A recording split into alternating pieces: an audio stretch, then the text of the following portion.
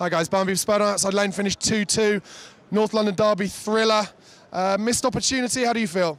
Um, mixed emotion about as far as um, closing the gap on Leicester, but I mean, many positives take on it. We've still got a gap between us and Arsenal. Uh, Arsenal. We're still above them. I mean, beginning of the season when we were just uh, um, probably thinking, oh, we probably won't even struggle, we'll struggle to get in the top four. Now we've made this huge jump to be title contenders, and we should be very proud our, our progress we've made this season.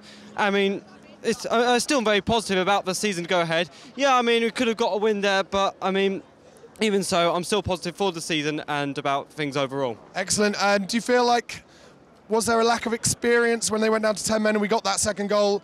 Trying to, you know, should we have kept the ball better, stretched the play, made them tired, or did we panic a bit, or, or was it just bad luck?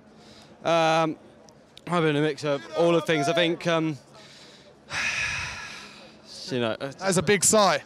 Uh, I mean, it, I still can't get over just uh, missing out that goal. But I mean, yeah, I think Wenger did his um, substitutions right, bringing on Giroud to give them that attacking um, prowess with him, San- Sanchez, and um, Welbeck, plus with Ozil going through, reinforced the defence. So there's a bit of a tactical side to um, them getting the equaliser. But I mean, even so, we still played well. I mean, Harry's goal, a lovely goal. Uh, and I will make, I also want to make this claim as well.